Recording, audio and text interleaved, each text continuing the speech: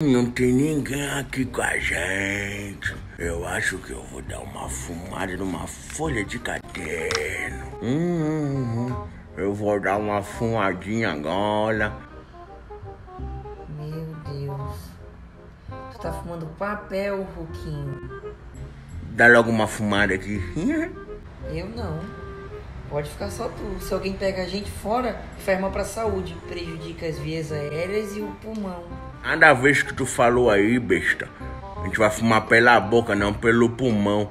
E viajar aérea é só lá no aeroporto, que é viajar aérea lá.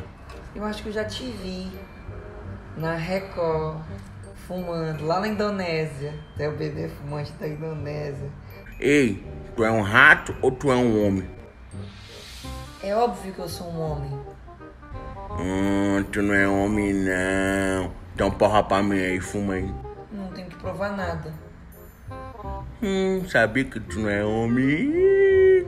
Tu é um ratinho. Toma daqui. Isso aí, mano, dá-lhe o teu.